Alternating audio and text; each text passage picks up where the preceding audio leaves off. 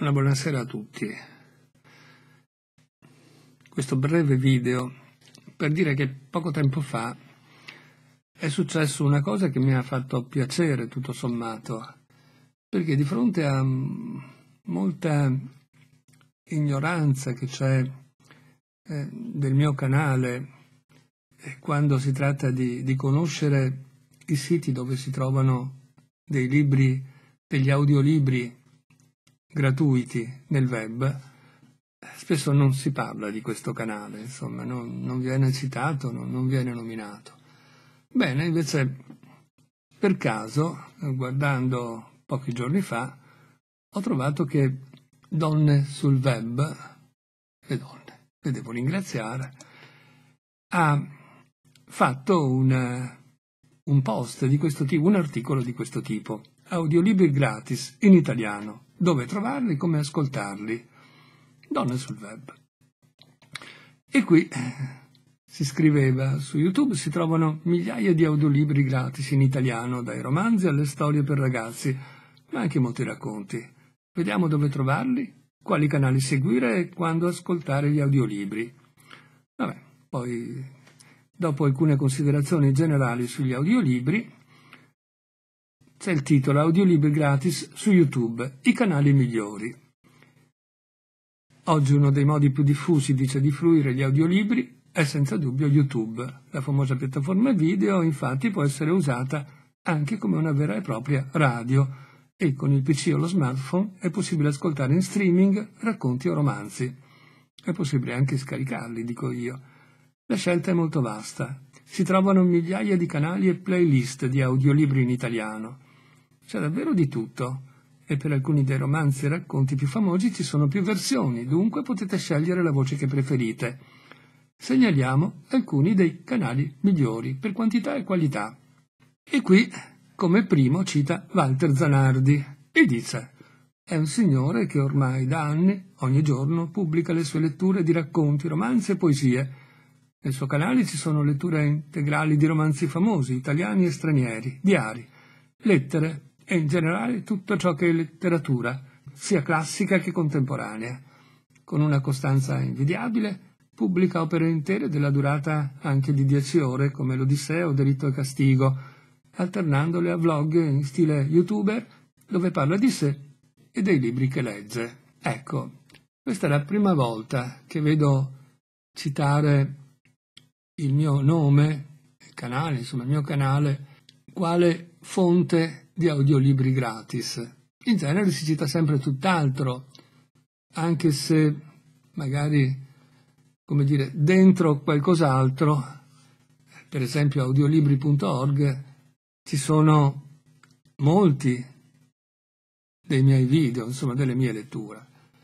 Ma il mio nome così non, non, mi pare che fosse mai stato fatto e la cosa mi ha fatto piacere anche perché vi garantisco che non, non c'è stato nessun suggerimento, nessun contatto da parte mia, io non sapevo neanche che esisteva questo, eh, questo, questo sito. Quindi grazie. Eh, grazie perché si sono accorti perché hanno fatto anche, hanno scritto due righe anche in maniera abbastanza seria, abbastanza documentata, insomma, hanno, hanno guardato. E molti, per esempio, video che vedo di youtuber che parlano di audiolibri, ehm, non si cita il mio canale, come se non, non esistesse, insomma.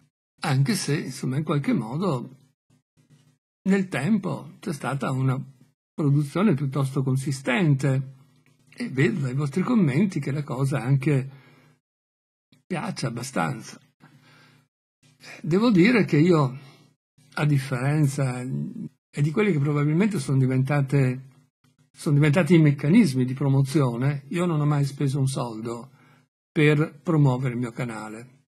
Né sono andato a spammare da qualche parte, non ho mai fatto nessuna manovra, insomma, né ho mai investito anche su Facebook, insomma, per promuovere pagine o così via, tantomeno su YouTube. Ne ho mai chiesto altre cose, eccetera. Però un po' mi dispiace che molti libri per i quali c'è stato molto lavoro sotto, spesso passano quasi inosservati. Arrivare a 50-100 visualizzazioni, spesso per, per un libro che magari ha richiesto giorni di lavoro, un po' dispiace, no?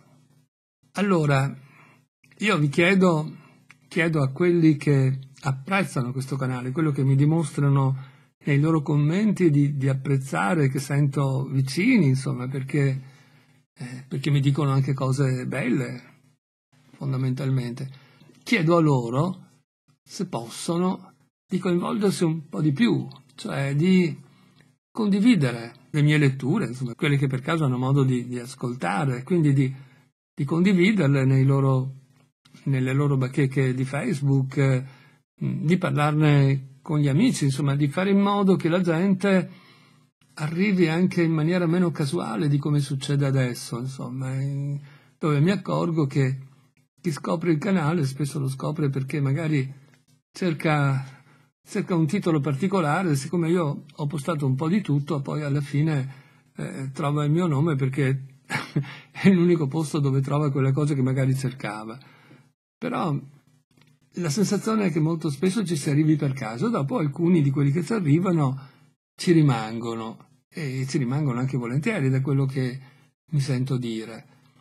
Cerchiamo, se è possibile, darti un po' da fare anche voi, insomma, come, come manifestazione di sostegno, di, di, allargare la possibilità che altri eh, arrivino a queste cose.